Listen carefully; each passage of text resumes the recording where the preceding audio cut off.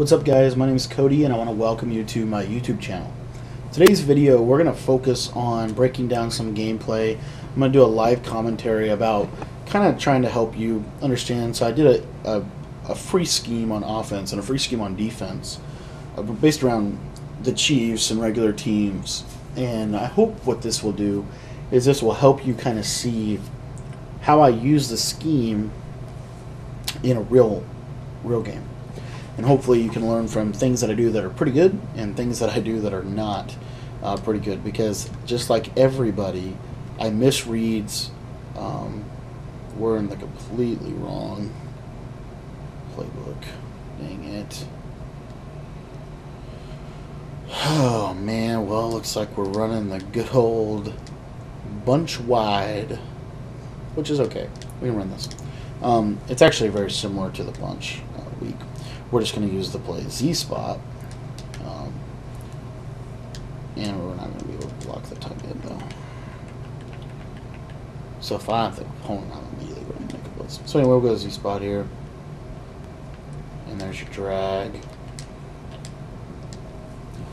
Don't really like. Don't. There's a lot of weaknesses to this formation, for a lot of different actual. Actually, for a lot of different reasons. Um, but it's not. It's not terrible. I actually was going to run this offense, this formation. So we'll run it, and hopefully you'll get something out of it. But basically, you want to use Z spot, kind of like the deep attack play. So you take Conley, you're going to run him off. What I'll do is I'll probably end up um, kind of doing. The problem is Kelce. Kelce's Kelce's kind of in the way. Um, actually, a lot. Anyway. So basically, what they're going to do is, if they're not going to play hard flats on on that little drag route, we're going to take it every single time. I mean, literally every single time, we will take it. Um, if they are, then we'll work the high-low reads. We'll work some of the other stuff. But until they legitimately either play hard flats or they are on that route the entire time, we're going to throw that route. We're also going to work our our high point passes to Travis Kelce in the seam. Um, we're trying to force him. See here, heavy man pressure, and here you're going to see I can ag I can aggressive catch uh, the Z spot route with a good receiver like a Sammy Watkins type. You can aggressive catch that, and it works pretty good, pretty consistent. Gets underneath almost every zone in the game that I'm aware of. Um, so overall, just a really good route. Okay, so snap through. Here I'm going to hit my corner. And the corner shames you like every corner does in this year's game. There's like very few corner routes that are actually good this year. It's kind of frustrating that I got the wrong package. Um, it almost might be worth putting him on a smart routed out route. Because corners just don't get open against man-to-man. -man. So here, no hard flats. So we just throw the little drag and we continue to work the ball up the field. What I like about this version of the bunch, it's a little bit different than the version that I ran, but I actually think there's some there's some pieces of it. It's not all, and I, I do think the actual standard bunch wide is better. But there are some pieces of it that work a little bit better. I think the verticals play works a lot better from bunch wide. I think the running game works. Oh, I forgot we had curl flat in this package. That changes the game. We have curl flat in the package. So curl flat is the one corner in the game, in my opinion, that is actually good. Um, and there are very few corner routes that are actually good. Uh, here we're going to try just a quick run. Might try it again, actually, depending on what look we get. Yeah, why not? We're running again. And I think, oh, Damien Williams, you got to get in there. Yeah, we'll, I'm going to try to fake audible here. See if we can't catch him. Oh, gosh. Damien Williams. If you have Kareem Hunt, you're easily in.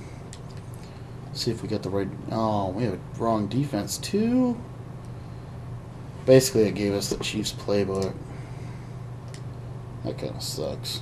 Um, Well, this will we'll show you nickel three three five. So nickel three three five is actually very similar to the um, to the other defense in the sense of you have one really good blitz. This Tampa two blitz is pretty good, um, and basically what you want to do is adjust out of it. So you call the Tampa two pretty much every play, but you're going to adjust out of it. The good part about this um, defense is you can sub in um, you can sub in your safeties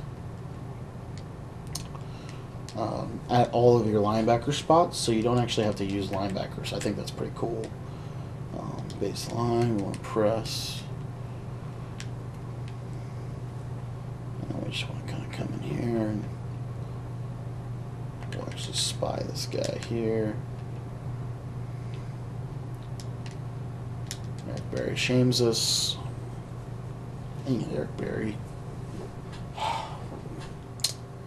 The good old random streak that works. So again, we want to put our best zone coverage guys at our safeties because we're going to be playing cover two for the majority of the game. Um, in the middle linebacker position, we want to put um, this guy uh, Murray, probably our best option. And like I said, we're just going to sit in this uh, Tampa 2. We're going to adjust a lot, though. Uh, you'll see by the end of this. I like to spread my linebackers. I know that it kind of gives them. If they run the ball a lot, then you'll pinch uh, your linebackers more, or maybe you'll bring your safeties down.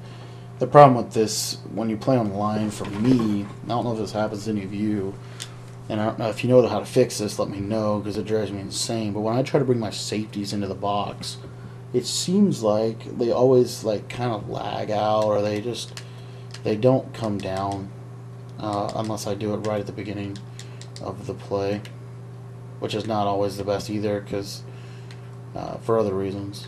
So Steelers cross is basically what we're to run every single play so far. But I'll show you some stuff out of that bunch wide. Um, it's there's like I said, there's very similar concepts. So if you watched, you'll see that the bunch wide, there's some things that it does. They're actually better than the uh, gun bunch weak formation. This guy's doing what pretty much everybody at this point in the game are going to do. They're going to run crossing routes with drags underneath, and they're going to force you to. They're basically going to try to put some stress on your user. Well, what you want to do um, through the course of a game, obviously, and through the course of some chess, you basically want to try to get them in a situation where they think they're they've pretty much guaranteed that you're always going to go to the crossing route. You're always going to go to the crossing route. You're always going to go crossing route. Always. At that moment, that critical moment, though, you're going to jump back down to the drag, and you're going to take it away. That's in essence. And you might cross man it, or you know, you might do some adjustment to change it up, but generally, you know. See, I can't move Berry. I don't know why, but I know I can't move him, and then my whole defense just freaked out. Thanks to the good old left trigger crap that happens. Basically, left trigger is kind of useless to me on defense now because every time I click it, something crazy happens. Alright, so third and two here. So, in this situation, really, it's okay. It's okay if he gets the first. I'm not mad at it. Um, I don't. I don't. He's clocking me here. A lot of people do this in regs because the play clock is longer, so you can really you can really clock pretty good. And the fact that I got the ball first is if he can clock me out here. So that being said, I don't want him to get the first down, but if he gets the first down, it's not the end of the world, and I got to prepare. Um, what's he probably going to do? He's probably going to run the ball. I mean, he's probably going to run stretch or dive um, if he runs stretch, I feel like I got him. If he runs dive, he might have a shot. And he runs dive. Uh, and we're right there. So we'll call timeout right there. Quick timeout. That's going to force him to have to think about things. Uh, if he's going to go field goal or not. And it's also going to allow us to get into our red zone defense. If you're in a 3-4 space playbook, 3-4 base playbook, to me the best red zone defense in the game is this little package right here. Um, three four odd. You pinch your line. If they're not if they're not in a running, then you just uh, blitz two people spy, so you crash them out, and then you spy them. If they're running set, you crash line down, and they'll play the middle. They'll play the middle run, and then I create a makeshift cover two out of it. I basically blitz all my linebackers, and then I put them in zones, and then I uh, I got the safeties over top. So what it does is you're you're in a makeshift cover two. Here, Madden didn't help me out at all, and he doesn't get out of bounds. He does end up getting the first down. That's pretty significant because now what he can do is he can take all the clock. So same defense. Again, this is my basic red zone D. And Todd Gurley me a little little slap in the face there.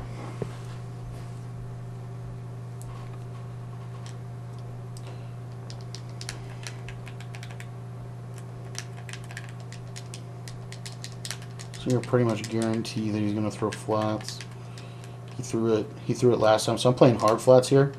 Um, he threw flats last time. I got the hook curls in case he throws slant. I want to get that guy into a bird hook or that left side guy actually because he'll play up into that seam a little bit. Um, I need to get that guy a bird hook as well.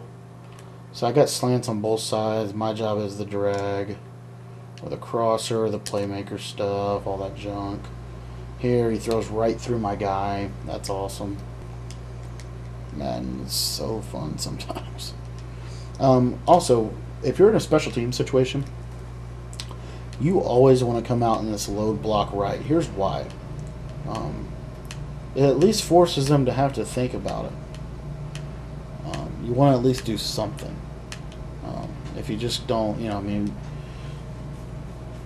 you you want to have something that forces them to think about things. When 11 plays 99 yards, that's awesome. Couple fourth down situations we could have capitalized on. Probably should have ran hard flats on that fourth down. We ran clouds, and he hit us with a little baby flat route. Todd Gurley trucked us into the Timbuktu. So now we're in a, a really bad situation uh, because we've got to score before halftime.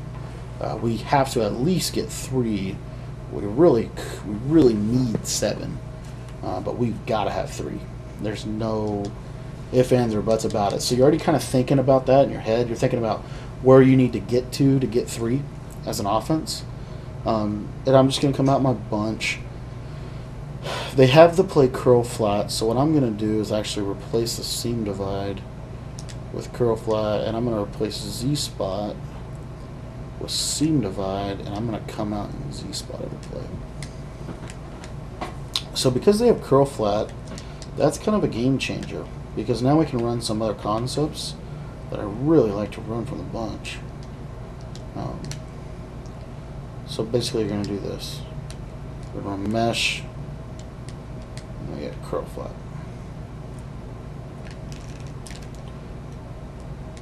There's a dot. So curl flat, the the curl the the the deep out route, it gets so far back. Um, it just it just gets so far back there that most zones can't in the game can't really play it. And then we're back in our standard standard Z spot setup. Here we know we've got to get out of bounce so we don't spin back inside we basically try to run him right out of bounds. So here we're working the ball, and we're not looking too shabby. Um, I'm going to go back to curl flat here. Another thing that's interesting about this set, you can put Kelce on a hitch route, and it can serve as a really nice viable check down for you. I like to just put him on a, on a seam streak. Um, if you want to motion him, you can. You'll see how comes he comes right into this spot. So I give you two pass protectors there. If you want to go max protect, here we do. And it's a very stupid decision because Aaron Donald.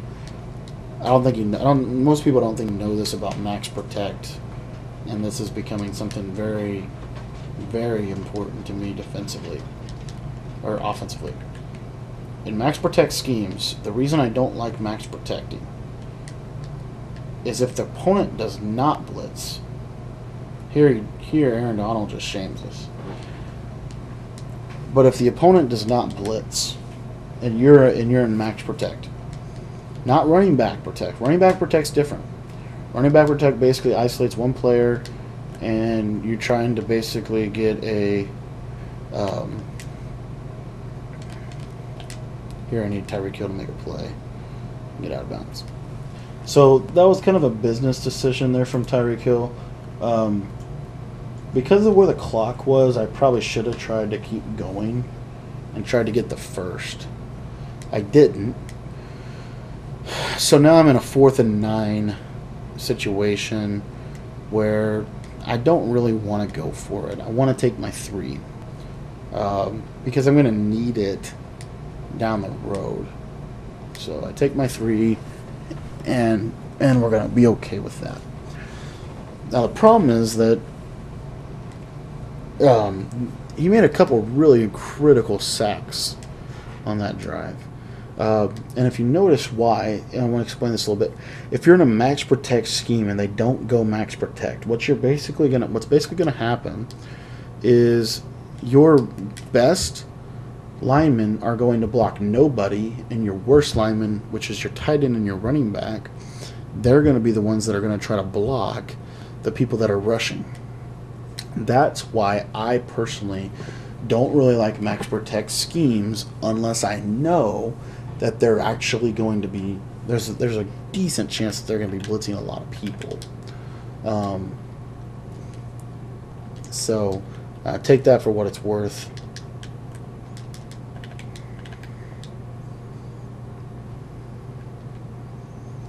So here we go in cover two. I can't remember how he. I thought he just got a few runs on this, really. He's doing a good job with the clouds, with the cloud flats. Doing a pretty good job with the cloud flats. But so right here, the strategy is pretty simple. Uh, we're gonna run. We're gonna run cover two with a spy, blitz two people, and and try to just get to halftime here. Uh, we're actually going to throw our outside guys in quarters because of the down and distance. Three seconds, he can't clock it and kick. This is the last play of the half. Therefore, everybody's going to be in coverage deep. And when you put your the the best deep coverage for my money is basically what I call cover five. It's cover two from your safeties, and then from your um, cover two from your safeties, and then from your outside guys, it's um, you put them in quarters, and then you take your middle linebacker and you put him in a deep blue. And to me, that's one of the better coverages in the game that you can use um, to stop a lot of the deep stuff, like the crosses and the. Um, and then you lurk the middle underneath, and you could throw another guy in his own. You could do some things with this. Three three five is very different than um, our four three. Three through five is really more of a coverage based defense, meaning that you're gonna you're gonna do a lot of cross manning because every linebacker within that defense can all cross man for multiple reasons. Their safety is number one. Here, probably anticipating another HB dive. He does go with it. Um, when you're facing, when you're in three through five and they're run the ball, run the ball, run the ball, run the ball, I don't really feel uncomfortable when someone just runs on me. Uh, I know a lot of people that do, though. Um, and so there's some things that you can certainly do to stop the run on a 3 through 5. What a, the main thing is pinch your line. If you pinch your line, it makes it a little bit more difficult. Um, there, Ron Parker just gets lost. I don't know what happened to him. So Tampa 2.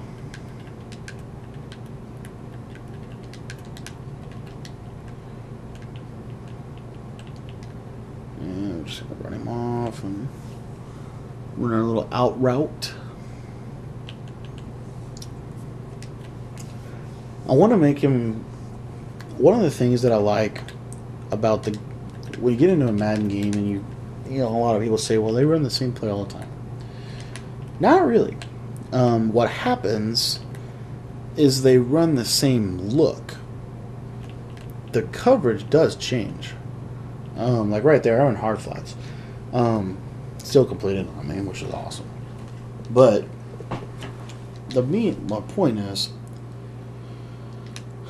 um, what you want you're going for on defense is you're going for a coverage that looks the same but is a completely different coverage to confuse. But you have to establish a long based shell. My long base shell that I want to establish is oh give me the pick. Um, is cover two with a cloud. So now on a critical down right here, third down, um, third down and four, I'm going hard flats, and I know my job is the crossing route. And there we catch him.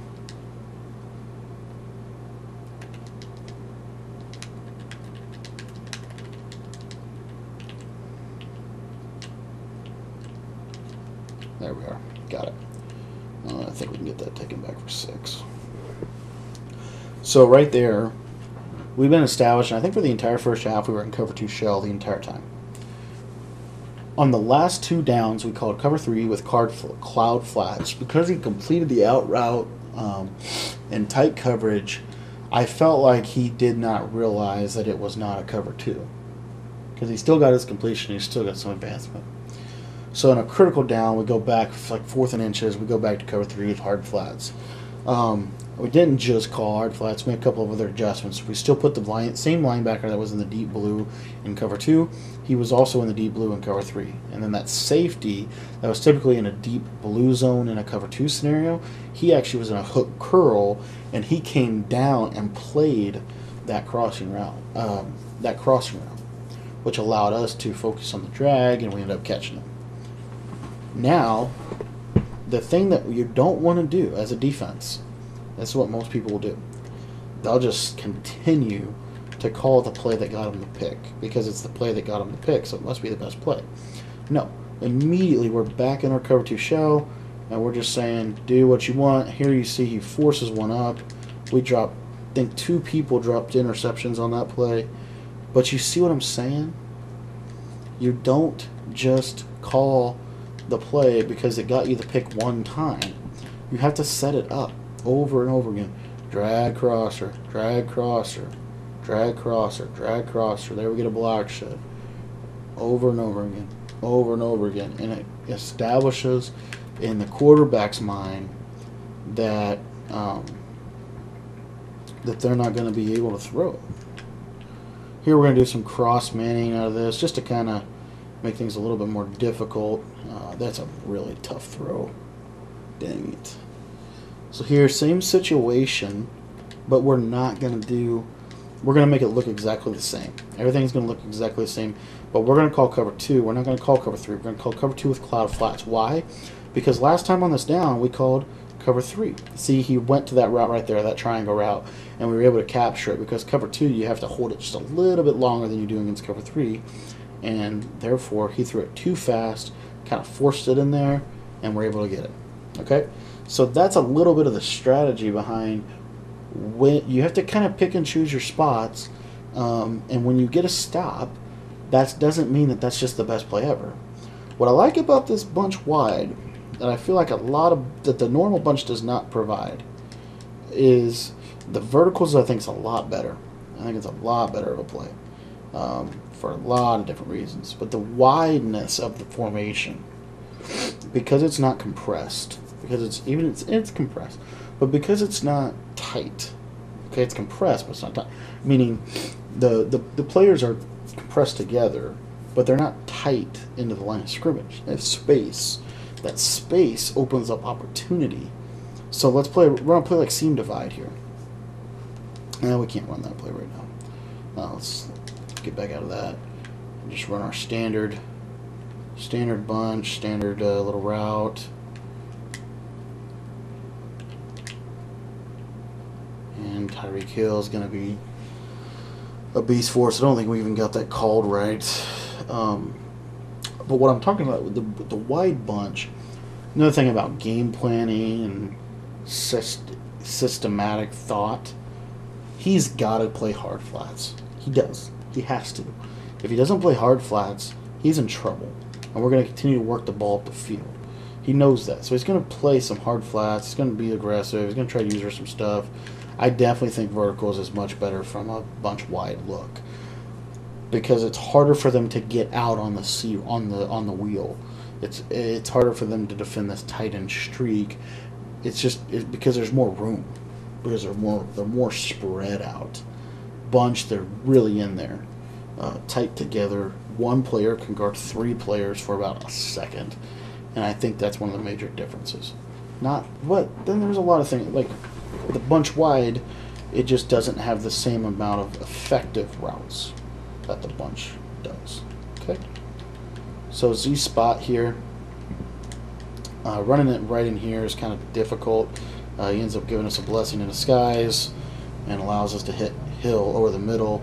Again, he didn't run his hard flats. We took our drag. If he would have ran hard flats like we thought he was going to, we were going to hit that uh, corner route or we, we could have hit some other routes.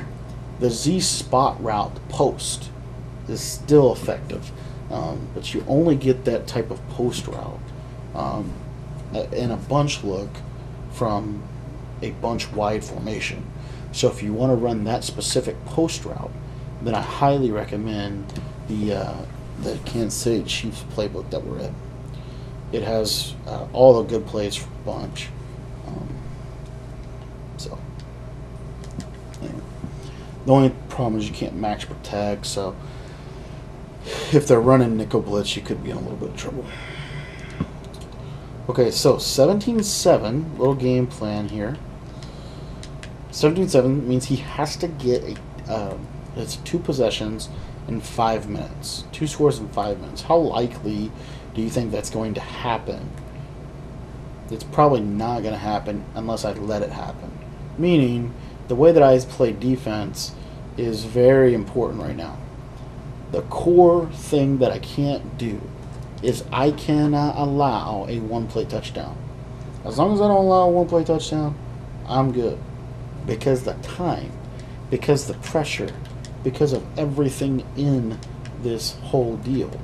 Um, I know what I can allow, what I can't. There's a, they're gonna try to force things as you just did right there. They're gonna try to force things. They're gonna try to set them up with these little short underneath routes, and they're gonna try to get you to lurk on them. And I just choose not to. Okay. So, anyways, uh, good game to this guy. Hope you enjoyed the video commentary, and I hope that something in this video showed you. Uh, we were able to adjust.